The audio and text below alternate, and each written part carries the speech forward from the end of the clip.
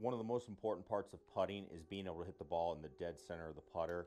So this is a great drill. You're going to actually see a lot of pros. Tiger Woods' favorite drill he ever does before he goes out and plays. He uses two tees. You can use we use Nerf darts in here. You can use golf balls, but we're going to set up a putting gate right on either side of the ball.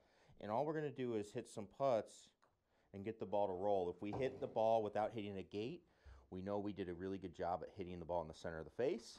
That's a key part to getting the ball to control your distance and also get the ball started on line.